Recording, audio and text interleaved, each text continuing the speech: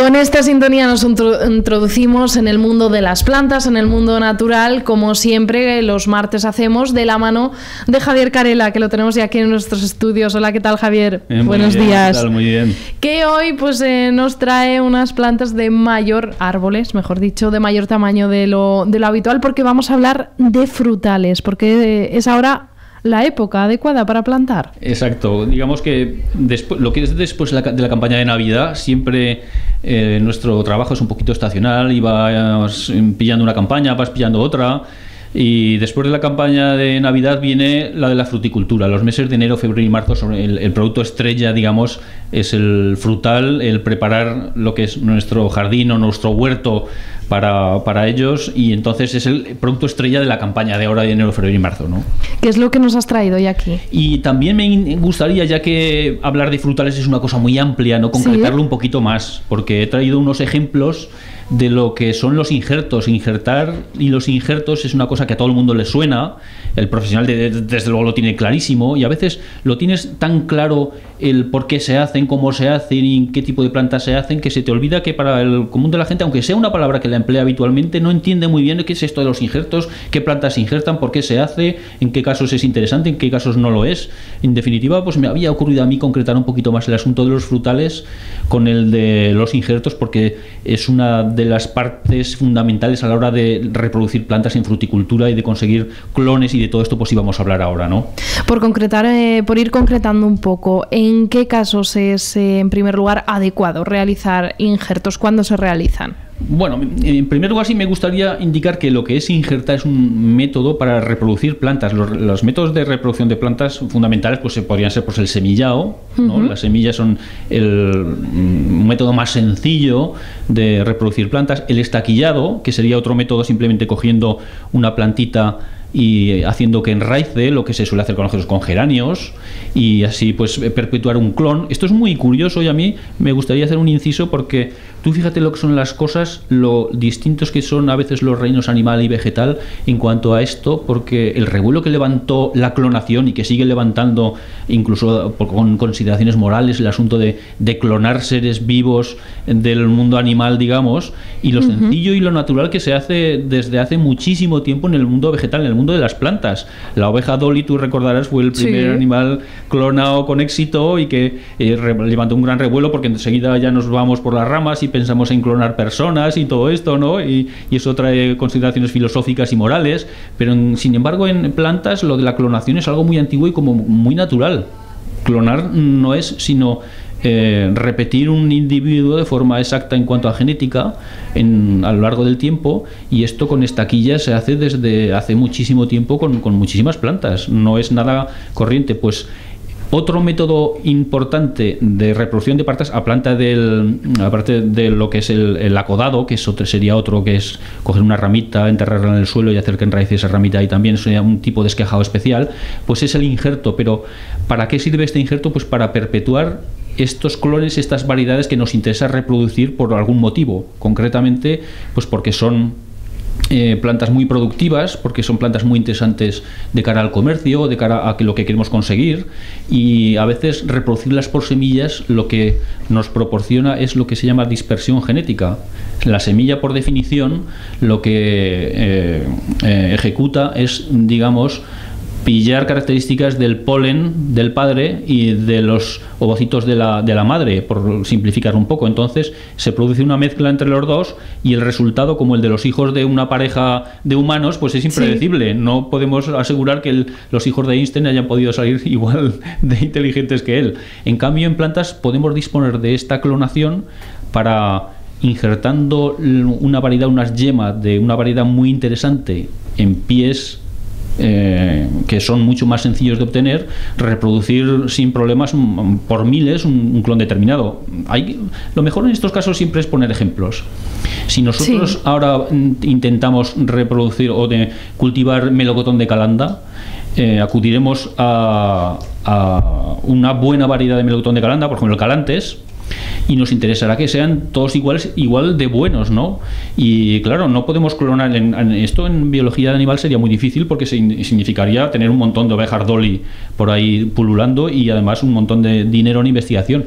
Pero acudiendo a los injertos consigues pies de, un, de una mm, resistencia y de una validez adecuada y pones yemas en estos pies y allí prenden y se pueden reproducir por cientos los melocotones de calanda que tú necesitas muy determinado y son idénticos, todos son iguales de buenos, ¿no? Y esa es la ventaja, digamos, de la, del injerto como método de propagación de plantas, ¿no?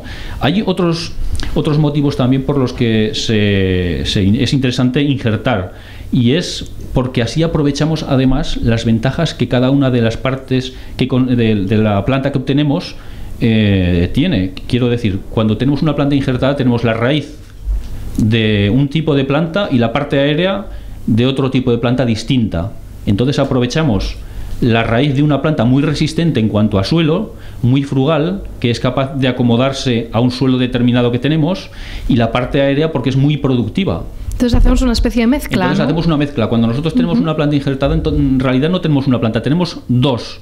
Tenemos la raíz de una planta y la parte aérea de, otra distinta.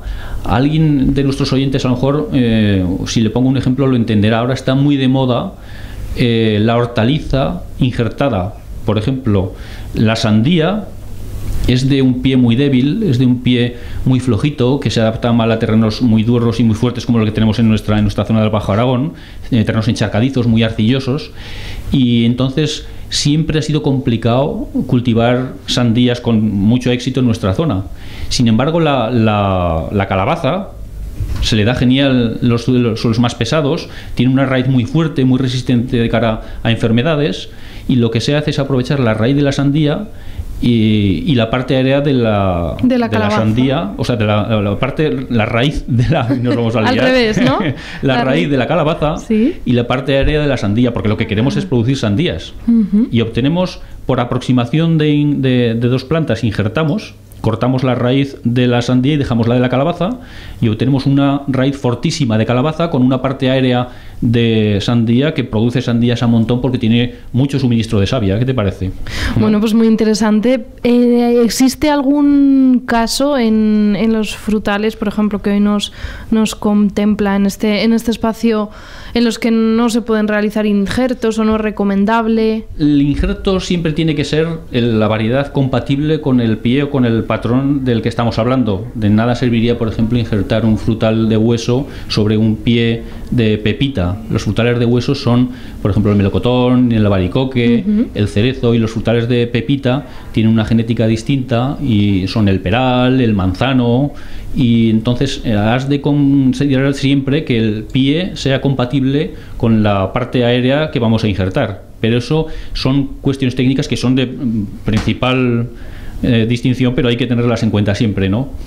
Hay otros casos, por ejemplo, en el que lo que se aprovecha es un pie fortísimo, por ejemplo el rosal, otro, otra planta que la gente eh, tiene asumido que está injertada es el rosal porque se aprovecha el pie de rosa canina, que es un rosal silvestre muy fuerte, muy resistente, muy frugal, que requiere muy poquitos cuidados en cuanto a suelo, y la particularidad de la variedad de rosa que necesitamos. ¿no? Aquí te he traído tres ejemplos al, programa para que los veas. Te he traído un rosal injertado con sobrepié de rosa canina. Hemos traído un arce japonés muy bonito que aprovecha las características de fortaleza de otro arce japonés sencillo, con una variedad muy especial que en este caso es de color rosa y con unas, unas hojas eh, muy bonitas. Y también hemos traído un albaricoque que va injertado sobre un pie franco. Cuando un pie franco es, eh, se pone, significa que es obtenido a partir de semillas, muy fácil de obtener porque simplemente se cultivan semillas de, de albaricoque corriente y sobre esas semillas que suelen ser muy fuertes se injerta la variedad concreta que necesitamos.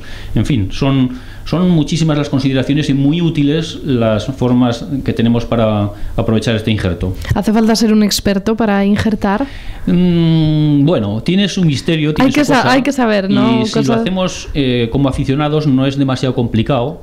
Eh, los injertadores profesionales es espectacular ver cómo injertan porque lo hacen muy rápido, lo hacen con muchísima seguridad, manejan las herramientas a su alcance con una habilidad muy especial y digna de ver, porque además necesitan eh, injertar miles de, plantas en muy poco tiempo.